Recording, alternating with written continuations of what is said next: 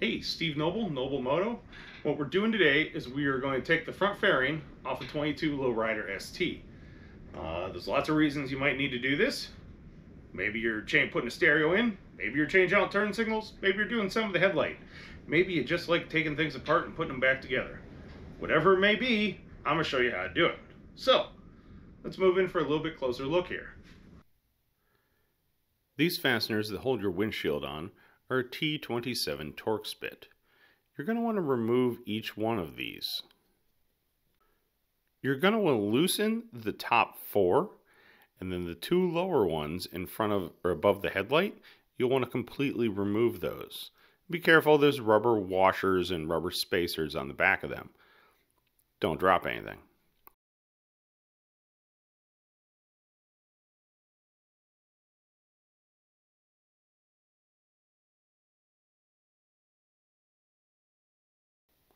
You can just loosen the top four, but you're going to remove the lower two, the two there above the headlight. You're going to completely remove those.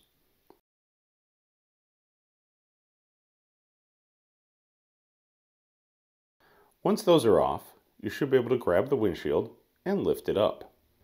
It will pop off the upper rubber mounts that were holding it in place, and then you're free to do as you wish with the windshield.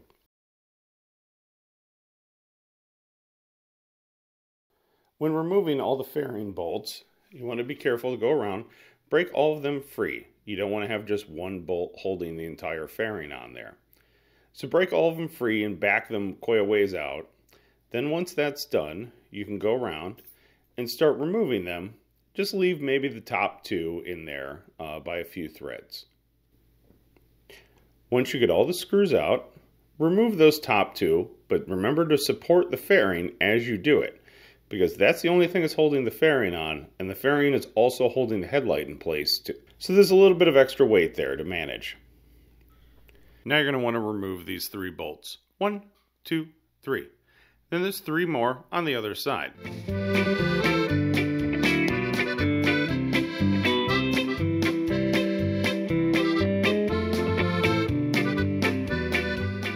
From there, you should be able to pull the fairing forward.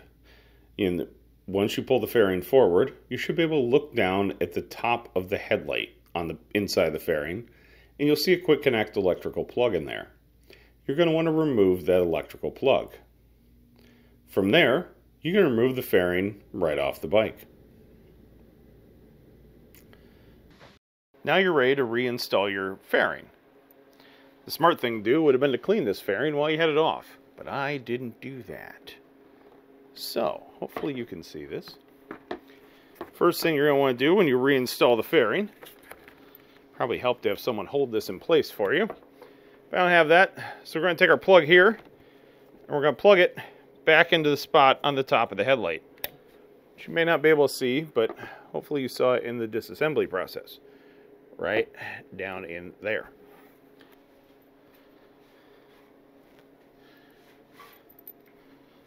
Now that your headlight is plugged in, you're going to want to start putting your fairing in place. Make sure all your wires are up where they should be, and simply pop it back into location. Might have to move it around some turn signal mounts and stuff.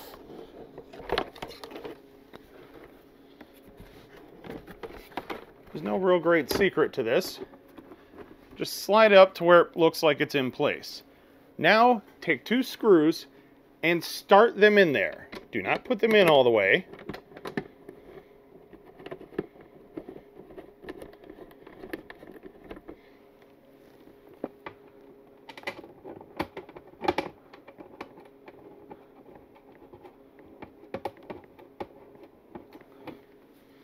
All right, now that those two screws are in, you're gonna wanna do a walk around on it. Make sure everything's lined up. Make sure no wires are sticking out or in any weird pinch points. Look inside each screw hole and make sure uh, you can see the little uh, nut thing, whatever you want to call it, the little clip nut that attaches to the fairing. That'll tell you if they're all lined up or not.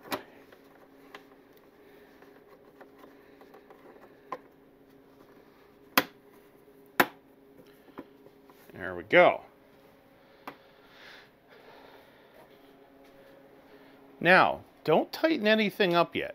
What you want to do is go around and start in every single screw. And not by one or two threads. Make sure it's in there by more than a couple threads. That way you know it's fully lined up.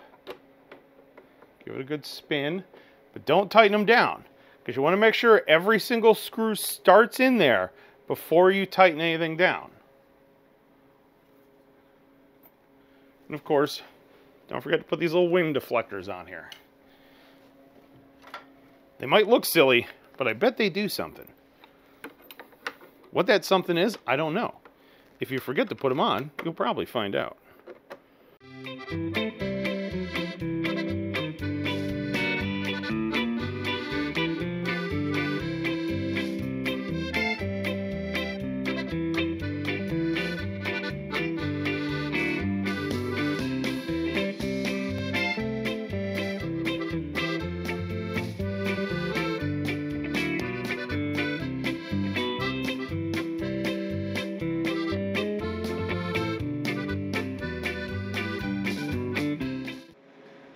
Next, reinstall the screws that hold the upper fairing in place, or the windshield and the topper, top part of the fairing.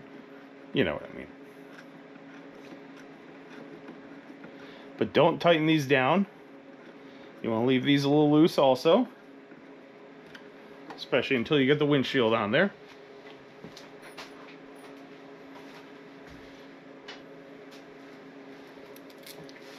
You may notice these are chrome bolts.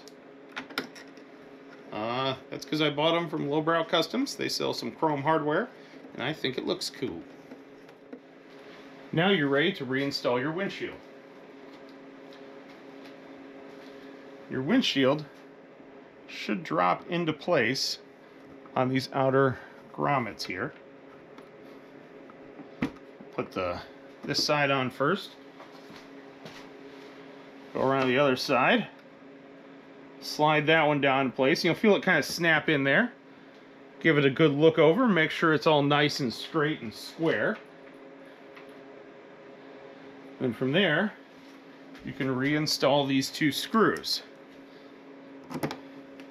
Then after that, we can go around, snug everything up, and then torque them all to spec. You're going to want to torque these screws to 30 inch pounds.